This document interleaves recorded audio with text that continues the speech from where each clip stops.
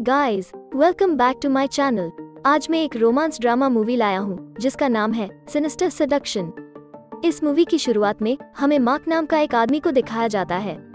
वो जॉगिंग कर रहा है, लेकिन तभी एक आदमी वहाँ आता है और चाकू से उसके ऊपर हमला करके उसे मार देता है। इसके बाद हमें मार्क की पत्नी शेरोन को दिखाया जाता है, और वो पति की मौत से बहुत दुखी है, और शेरोन भी बहुत खराब स्थिति से अपनी ज़िंदगी गुजर रही है। हाल ही में उसने अपने पति को खो दिया है। तब सभी को उनके पुरानी अफेयर के बारे में पता चला रहा है। और इसलिए उनका रियल एस्टेट बिज़नेस भी कुछ खास नहीं कर पा रही है। अगले दिन शेरोन जल्दी ही जाग जाती है, और वो जाकर अपने बेटे एंथनी को उठाती है, क्योंकि ये आज उनका स्कूल है। लेकिन एंथनी को स्कूल जाना इतना इंटरेस्ट नहीं है, और ये देखकर शेरोन उससे पूछती है, क्या कोई आपको स्कूल में धमकाता है? तो एंथनी इससे इनकार करते हैं, और अब तैयार होकर स्कूल जाता है। इसके बाद डिटेक्टिव बाँध शेरोन से मिलने आता है। और बाँस एक डिटेक्टिव है और प्रेजेंट में शेरोन के पति की हत्या के मामले पर काम कर रहा है। और वो इस मामले पर अपडेट देने के लिए शेरोन से मिलने आया है। बाँस और शेरोन दोनों बचपन से दोस्त हैं और बाँस बचपन से ही शेरोन को पसंद करते हैं। लेकिन अब तक शेरोन ने उन्हें मौका नहीं दिया है। इधर स्कूल पे ब्रेंट नाम के एक लड़का ने एंथनी को राग करता है। नी इन स्कूल, तब वहाँ एक और लड़का आता है, इनका नाम है डिलन। इसको देखते ही ब्रेंट वहाँ से चले जाता है। फिर आती है, मेगन नाम की एक लड़की, और एंथनी मेगन को बहुत पसंद करता है, लेकिन उसमें इतनी हिम्मत नहीं है कि वो जाकर उसके साथ बात कर सके। और डिलन ने ये सारे देखकर एंथनी और मेगन को एक दूसरे को परिचय करवा देता है। बाद में डिलन ने एंथनी को स्कूल के मैदान में फुटबॉल खेलने के लिए ले जाता है। और वहाँ ब्रेंट भी होता है। फिर ब्रेंट ने एंथनी को चोट पहुँचाने के लिए रूल्स को तोड़कर खेलता है।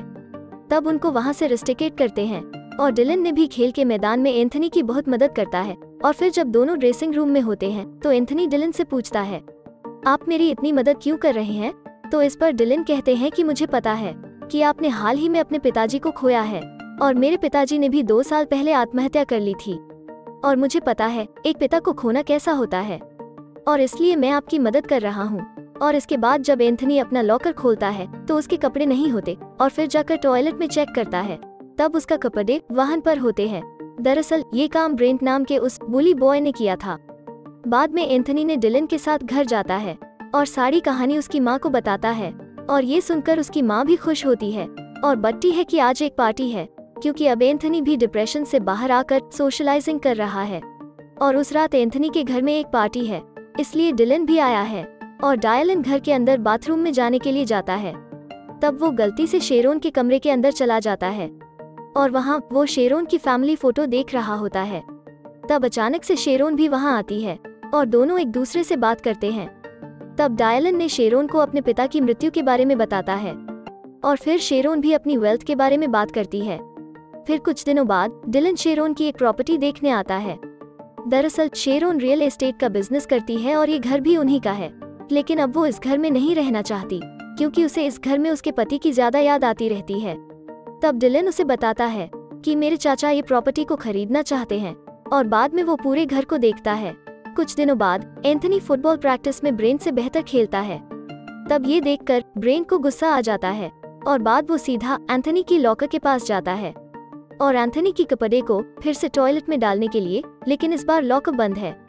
और तब डिलन भी वही होता है और डिलन को एंथनी के लॉकर के पास देखकर उसे धमकी भी देता है। लेकिन डिलन को धमकाना और राग करना उनके बस के नहीं है। बाद में, इधर घर में, शेरोन को उसके पुरानी अफेयर वाले आदमी से एक मेल मिलता है। और इससे पहले भी ऐसे मेल आ चुके हैं, लेकिन उसने डिटेक्टिव बाँस को इसके बारे में अभी तक नहीं बताया है। क्योंकि वो नहीं चाहती थी कि उसे बाँस के साथ अपने अफेयर पर चर्चा करनी चाहिए, क्योंकि ये उसके लिए बहुत अजीब लगती थी। जब शेरोन अपनी सेक्रेटरी, केटी को इस मेल के बारे में बताती है तो केटी भी वो सलाह देती है कि उसे बाँस से इसके बारे में बात करनी चाहिए। लेकिन शेरोन फिर भी बहाना बनाती है। और वो बाद में उसे कुछ नहीं बताती है। बाद डिलन ने स्कूल में एंथनी को मोटिवेट करता है, और वो उसे मेगन को डेट पर ले जाने के लिए कहता है। फिर एंथनी ने मेगन से डेट पर आने के लिए कहता है। और वो सहमत देते हैं, और उसी रात एंथनी डिलन की कार लेता है, और मेगन के साथ डेट पर जाता है। और इसलिए डिलन एंथनी के घर में रहना होता है। अब डिलन और शेरोन घर पर अकेले हैं, फिर दोनों एक दूसरे की ज़िंदगी में हो रहे दुखों पर बातें करते हैं। इधर, डिलन ने शेरोन को मार्क की किताब के पेजेस को फाड़ने के लिए कहता है।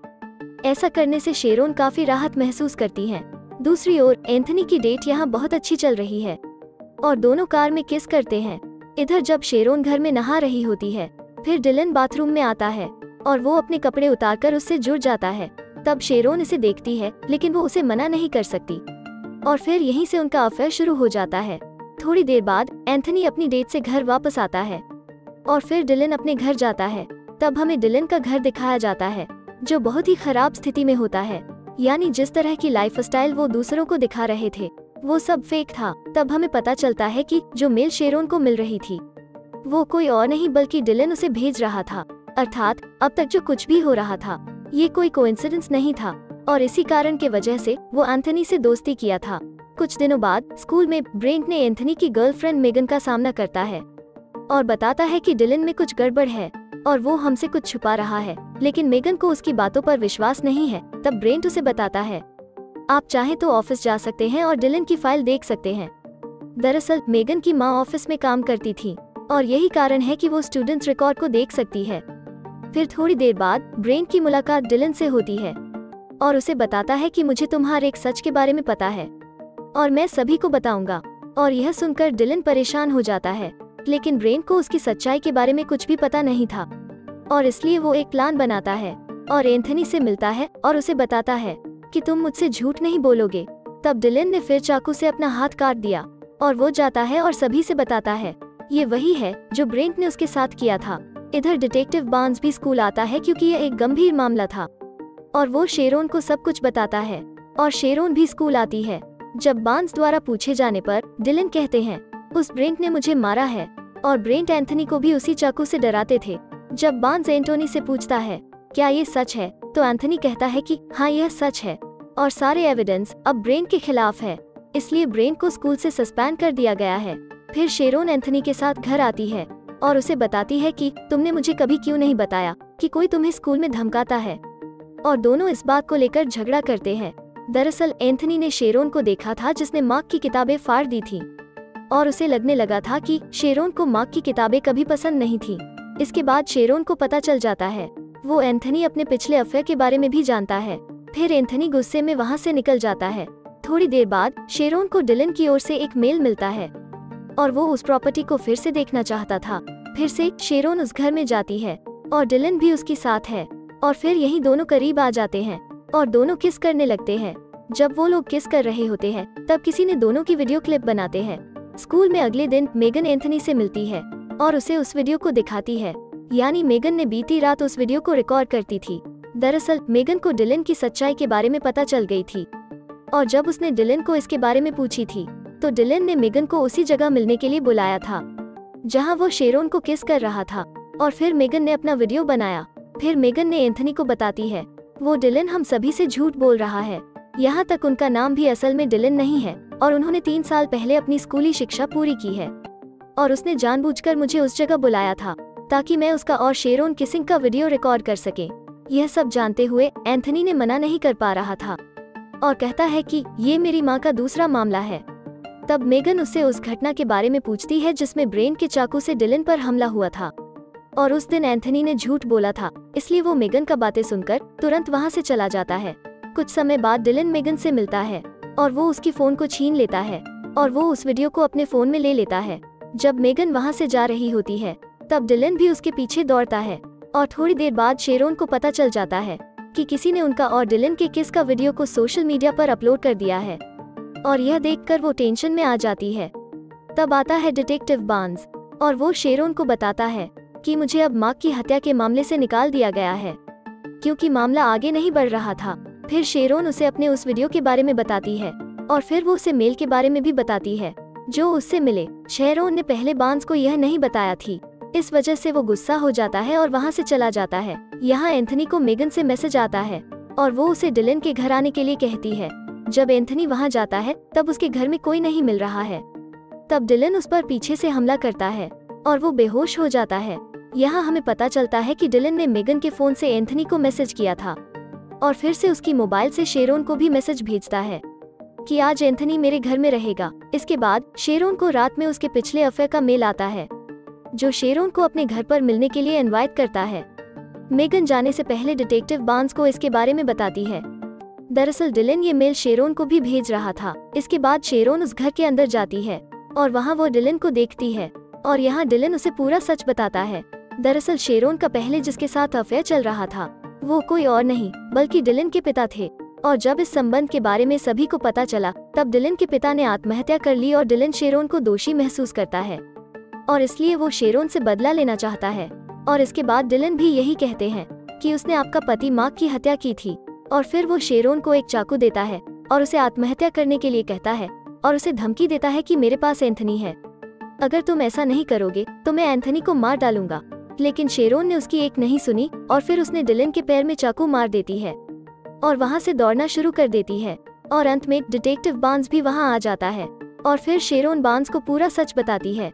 तब बाँस अंदर जाता है और डिलन की तलाश करता है, लेकिन डिलन वहाँ से चला गया था। फिर शेरोन अपने बेटे को बचाने के लिए बाँस के साथ डिलन के घर जाती है। दूसरी ओर जब एंथनी को होश आता है और वो देखता है कि वो जंगल के अंदर एक पेड़ से बंधा हुआ है और मेगन भी उसके साथ है। फिर दोनों एक दूसरे की मदद से खुद को रस्सी से छुड़ा लेते हैं। इस बीच, शेरोन और बाँस भी डिलन के घर पहुँचते हैं। और वो लोग एंथनी को खोजने के लिए उसके घर के सामने। जब वो जंगल के अंदर जाते हैं, तब बाँस पीछे छूट जाता है और तभी डिलन वहाँ आता है। और बाँस पर चाकू से हमला करता है। घायल होने के कारण बाँस भी वहीं बेहोश हो जाता है। इसके बाद डिलन बाँस की बंदूक ले लेता है।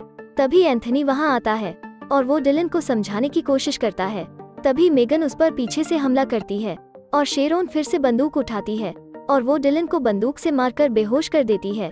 फिर वो डिलन को मारने वाली थी, तभी एंथनी उसे रोकता है, और फिर हमें थोड़े समय के बाद दिखाया जाता है, और अब शेरोन डिटेक्टिव बाँस को मौका देने की सोचती है, और दोनों डेटिंग करने लगते हैं, और दूसरी ओर शेरोन और एंथनी के बीच का रिश्ता भी बेहतर हो जाता है। तो ये थी सिनिस्टर सडक्शन की कहानी। अगर आपको कहानी अच्छी लगी हो तो पूरी फ़िल्म देखें और अगर आप ऐसी और भी वीडियो देखना चाहते हैं तो हमारे चैनल को सब्सक्राइब करें।